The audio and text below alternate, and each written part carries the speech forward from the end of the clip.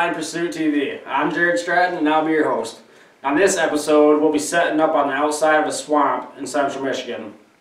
After checking the HuntWise app, seeing that the uh, forecast predictions were 4.5 out of 5 star, I decided to spray up the code blue and hit the woods.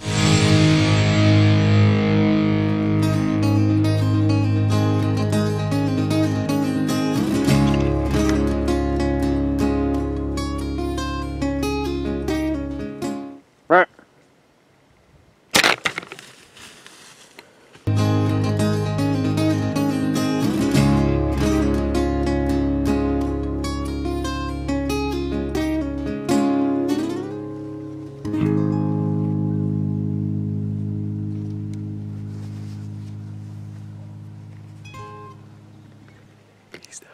He's down.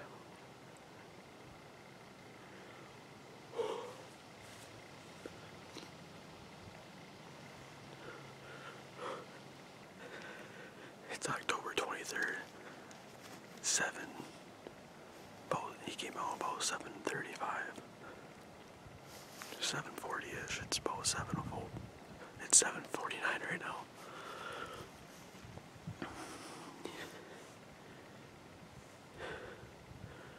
He just walked. I mean, I think I hit him back a little too far. I couldn't tell. I know there was uh, some. The weeds were really tall there, but he went. He walked 25 yards and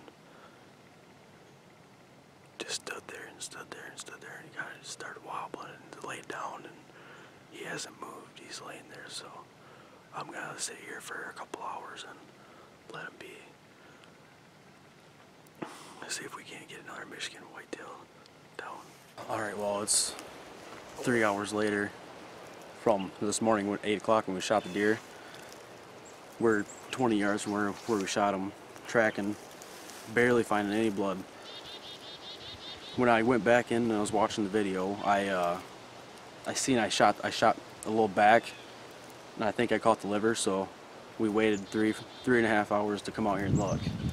And right now we're finding we're finding some blood. So keep tracking. I caught him on camera when he when after I shot him. He walked over here and he was standing there and laid down. So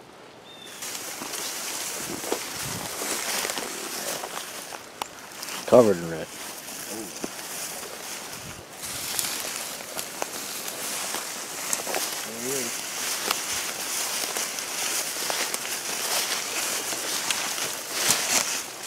Oh yeah. Boiled them. Look at that. Oh yeah.